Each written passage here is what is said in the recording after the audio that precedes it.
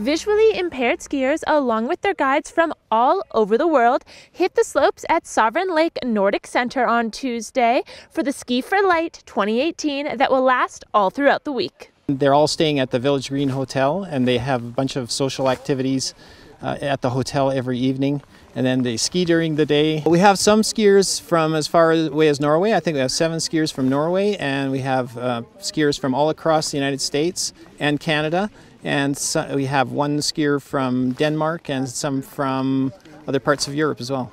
Classic cross country skiing is an ideal sport for if you're visually impaired because you have the track set uh, ski tracks, and that keeps you on the trail. And so the guide skis right beside the blind skier and tells them when a corner is coming up or if there's debris on the trail or if there is a steep hill coming or an uphill. And so the skier can just concentrate on their skiing and it's just a great fun for, for everybody. The event lasting all throughout the week consists of dancing, dinners, and a whole lot of fun. For Castanet News, I'm Chantel Deacon at Sovereign Lake.